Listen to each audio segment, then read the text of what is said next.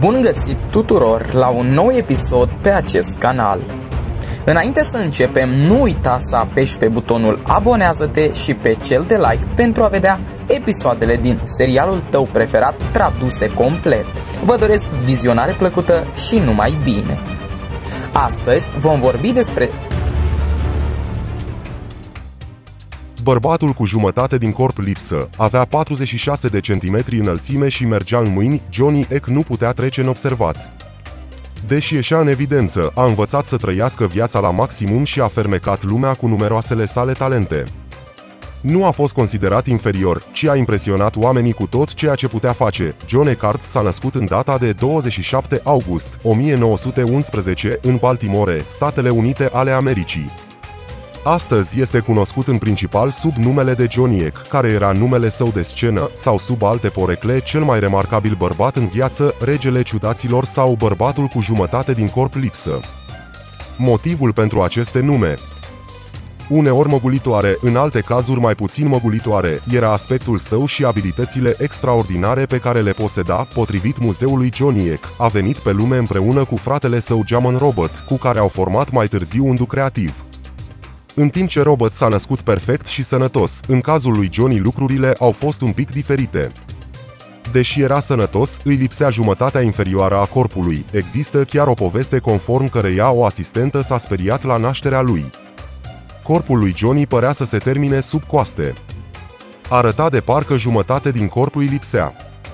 Totuși, nu a fost chiar așa, se pare că Johnny Eck avea un defect congenital rar numita genezie sacrală, care afectează una din 25.000 de nașteri.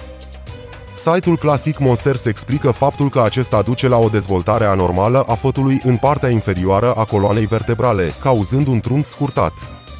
Picioarele și picioarele lui Johnny erau subdezvoltate și le ascundea sub haine.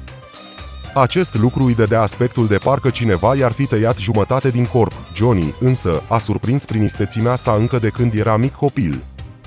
Potrivit The Human Marvels, el a învățat să meargă în mâini înainte ca geamănul său să învețe să meargă în picioare. Ca adult, Johnny măsura 46 de centimetri.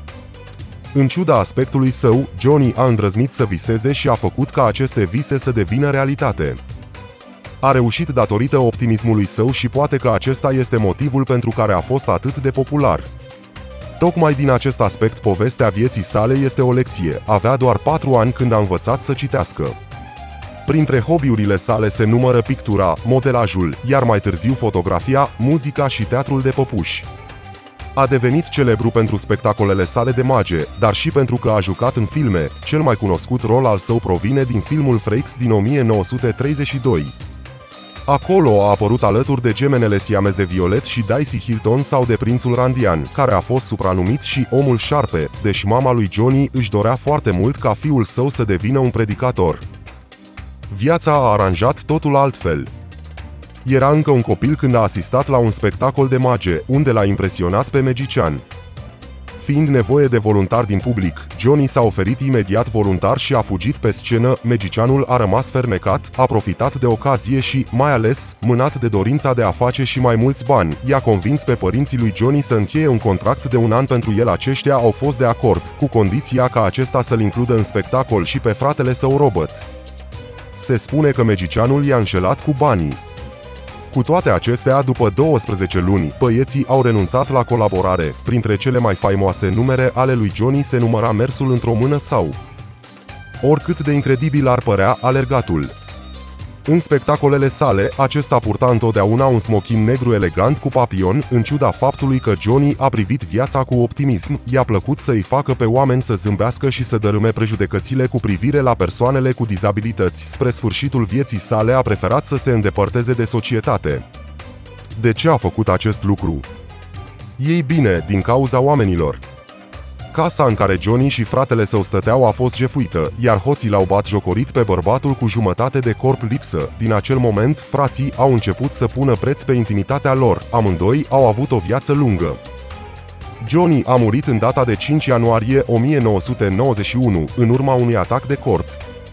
Robert și-a pierdut viața în data de 25 februarie, patru ani mai târziu.